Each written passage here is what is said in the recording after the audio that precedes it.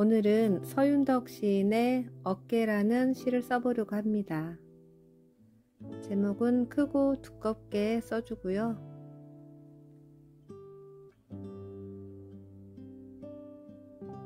제가 주로 썼던 글씨체가 아니고 좀 다르게 변화를 줘봤는데요. 누구나 쉽게 따라 쓸 수 있는 글씨체입니다.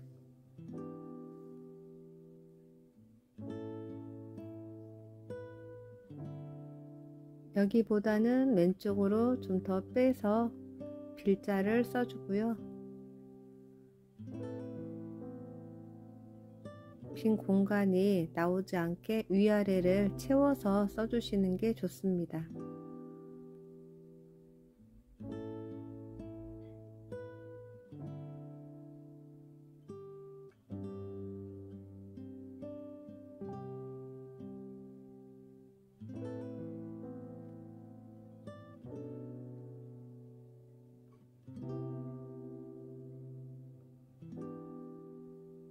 위아래가 꽉꽉 채워지도록 끼워쓰기 하시는 느낌으로 써주시면 좋아요. 그냥 또박또박 쓰는 것처럼 쓰시는데 좀 너무 기울기를 반듯하게 하지 마시고 기울기도 왼쪽 오른쪽 봐줘가면서 써주세요. 낙관도 띄우지 않고 본문 글씨하고 붙여서 써줬습니다.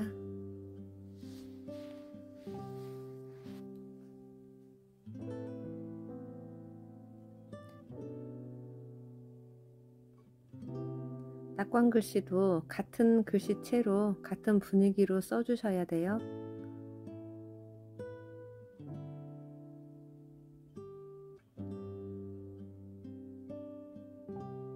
주위에서 살펴볼 점 한번 짚어드릴게요. 여기 보시면 어, 이렇게 기울기를 주위에서 같은 방향으로 아니고 한쪽은 이쪽으로 한쪽은 왼쪽으로 어, 지그재그. 그래서 여기도 보면 음, 약간 판본체 느낌으로 써주시면 돼요. 이쪽으로 기울였으면 이쪽은 방향을 잘 살펴보세요. 그래서 삐뚤빼뚤은 쓰는데 균형감이 잡히도록 써주시면 돼요. 여기도 보면 가운데 정렬 느낌이 나도록 비슷한 기울기로 써주시고요. 여기도 보면 하나는 길고 하나는 짧고 그리고 여기 리을 있죠. 한 번에 이렇게 써줬어요.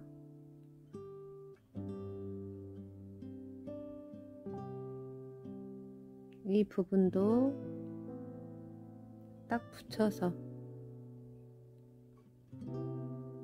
이 공간이 위아래가 공간이 보이는 곳이 없는 게 좋아요. 그리고 여기 희응점 있죠. 예전에는 이렇게 썼다면 여기에서는 가로로 누워서 반듯하게 희응을 썼습니다. 그 전체적인 글씨 분위기를 맞추기 때문에 그렇게 썼고요. 여기도 하나는 크고 하나는 작고 이 부분 여기도 보면 꽉 채워지게 써주시고요. 기대도 돼 여기도 이런 부분이 여백이 살짝 공간이 좀 있어야지 답답하지 않겠죠. 이 부분 기울기를 잘 살펴주시고요. 여기 낙관 글씨 채워서 딱한 글씨도 좀 아기자기한 느낌이 나도록 모여서 써주시고요.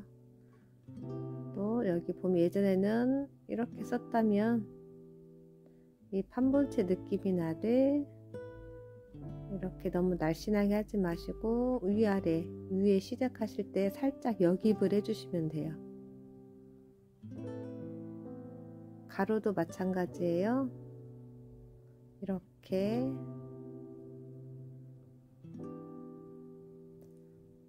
그리고 이렇게 여깁을 살짝 이렇게 날씬하게 안 하는 게 좋겠죠. 이 분위기에 반듯하게 해주시고요. 어, 쉬우니까 한번 따라서 써보세요.